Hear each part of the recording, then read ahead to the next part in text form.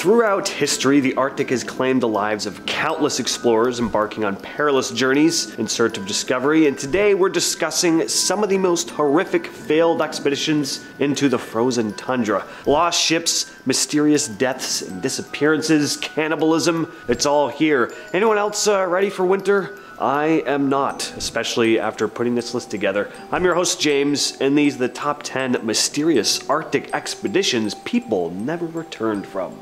And we're starting off this list with probably the most famous disastrous Arctic trek, Franklin's Lost Expedition. John Franklin was to lead an expedition to discover the Northwest Passage, a route between the Atlantic and Pacific Oceans passing through the Arctic Ocean above Canada. There were two ships deployed, the HMS Terror and HMS Erebus, with around 129 crew altogether. They left England in 1845, never to return. Both ships ended up getting trapped in the Canadian Arctic. The crew were completely stranded. Franklin died in June of 1847, but some of the crew managed to survive until April of 1848. Some attempted to venture onto land to survive, but none of them ever made it back home. It was later discovered that some of the crew resorted to cannibalism in a desperate attempt to survive. It wasn't until recently that their actual ships were discovered. The Erebus was found in 2014 and the Terror discovered in 2016.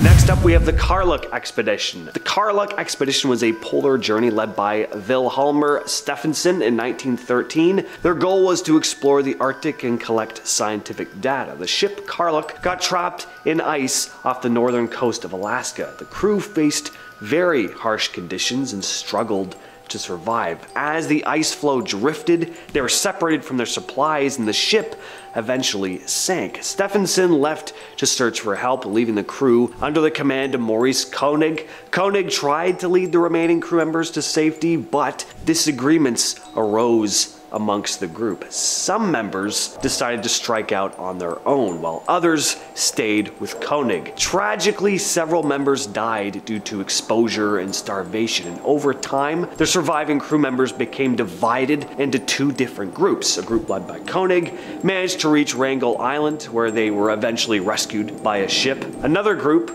including a scientist, was also rescued separately. However, some crew members were never found and presumed lost at sea. Number 8. The Lady Franklin Bay Expedition. The Lady Franklin Bay Expedition, also known as the Greely Expedition, began in 1881, led by Lieutenant Adolphus Greely. The mission aimed to gather scientific data in the Arctic. The team established a scientific research station at Lady Franklin Bay in northern Canada, but due to supply shortages and harsh weather conditions, the expedition faced serious challenges. In 1883, a supply ship failed to reach them, leaving the group stranded and started getting lower on food. And eventually, the crew members began to die from hypothermia and starvation. In an attempt to survive, Greely and his crew embarked on a treacherous journey southward. They faced extreme cold and had to resort to eating their own sled dogs in order to stay alive. Rescue parties were dispatched, but the extreme conditions made rescue very difficult, and only a few members of the original team were able to survive. When they were finally discovered in 1884, they were in a very dire state. And at number 7, we have the Polaris Expedition. In 1871, a crew led by Charles Francis Hall set off on a mission to reach the North Pole. They left from New York on the Polaris, but once they reached Greenland, things started taking a turn for the worst. They were unable to press on due to the harsh winter storms, and tensions amongst the crew only began to escalate. Mainly, the crew were started questioning Hall's abilities as a captain, and two scientists on board turned on Hall, and coincidentally, Hall fell ill around this time, accusing one of them of poisoning him. He ended up dying soon after. The crew then turned back and began a long, treacherous trip home. Some members of the crew would separate, but despite all odds, many of them were rescued. The body of Charles Francis Hall was left out in the barren, frozen landscape, not to be discovered until many, many years later in 1968. And it was determined that he had died as a result of a large consumption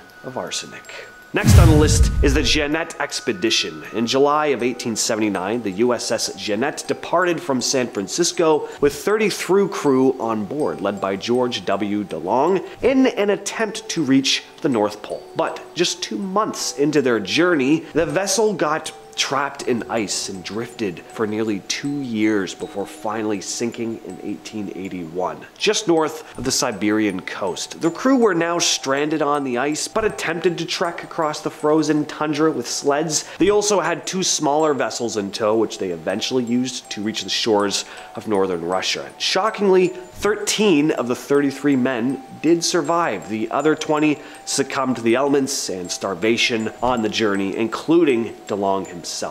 Number five, the S.A. Andrée expedition. The Andrée's Arctic balloon expedition took place in 1897, and it was led by Swedish engineer Salomon August Andrée. The goal of the expedition was to traverse the Arctic and reach the North Pole by means of a hydrogen balloon. On July 11th, Andrée and his two crew members, Nils Strindberg and Knut Frankel, left, lifted off from the Danes island in the Arctic Ocean. But because of heavy winds and technical difficulties, the balloon began to drift off course and they were unable to control their direction and were carried further and further away from their intended destination. And the last known communication from the expedition was on July 13th of that year when they sent out a distress signal. The fate of the Andrée and his crew remained a mystery for over 30 years until their bodies were discovered in 1930 on White Island. This expedition was doomed to fail. Andrée had some experience with air ballooning, but not enough. He'd only taken up the hobby about five years prior to this journey, which probably wasn't enough time to lead a trek far into a particularly dangerous frozen wasteland.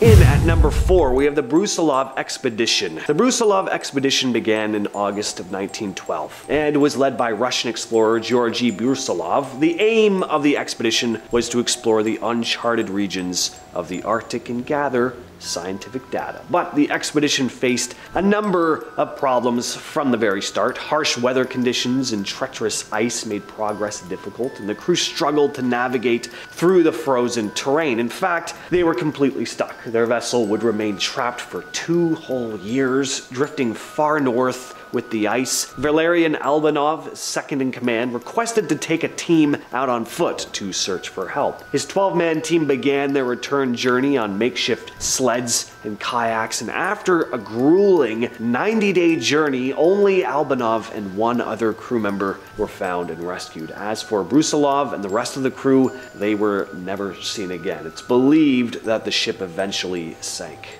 The Dyatlov Pass incident. The Dyatlov Pass incident occurred in 1959 in the Ural Mountains of Russia when a group of nine experienced hikers ventured into the wilderness where they met an incredibly tragic and very mysterious end. The group, led by Igor Dyatlov, set out on their expedition on January 27th, and their journey was expected to take around 16 days to complete. But when no message was received of their arrival at their destination and days had gone by after they were meant to have returned, their families became concerned and the authorities were contacted. A search party was organized, and on February 26, the hiker's tent was discovered, abandoned, and ripped open from the inside. The bodies of the hikers were found scattered in the snow, some partially clothed and with signs of severe injuries. These included skull fractures, chest trauma, bruising. Two of them were missing their eyes. One had their tongue missing. With how gruesome and mysterious this incident was, wild theories and speculation have circulated for years. Some theories suggest that the hikers were victims of a nuclear testing accident,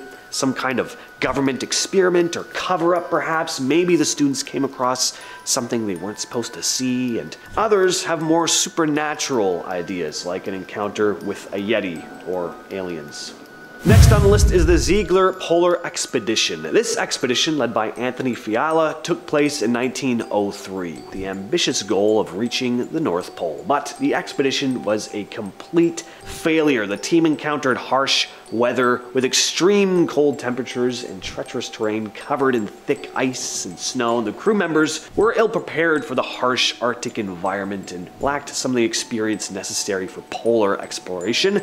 And this lack of expertise made it difficult for them to navigate through this unforgiving tundra and really hindered their progress. On top of that, the limited supplies they brought with them were insufficient for the duration of this track. As the team continued their journey, they faced setback after setback, their ship got stuck in ice, and then they were completely stranded for two whole years. Surprisingly, this one actually ended uh, as good as it could have, though, with the crew eventually being found by a rescue party led by William S. Champ. But finally, we have Peter Tessem and Paul Knutsen. In 1919, Norwegian explorer Roald Amundsen was traversing the northern coast of Russia, along with his partner Peter Tessem and another explorer, Paul Knutsen. Due to Tessem's chronic headaches, he left him to stay behind with Knutsen on Cape Chelyuskin. Their plan was for them to make their way to the nearby town of Dixon, which was just over a month's journey away. But 1920 rolled around and they hadn't arrived yet. A search party was organized by the Norwegian government, but they didn't find anything. And then a Soviet search in 1921 did manage to find a Norwegian sled and a letter from the men stating that they were in good health. In 1922, a Soviet research team discovered the scientific equipment and data that had been left behind with them, and later they found a body wearing a gold watch engraved with Tessem's name within sight of Dixon. It was practically a skeleton at that point, unable to be identified if it weren't for that watch. And the exact cause of death was unclear, but starvation was a possible cause. That and the possibility that he'd seen the lights of the weather station on Dixon Island and began running towards them. And in his weakened state, he possibly slipped and fell, maybe hit his head on a rock, was unable to get up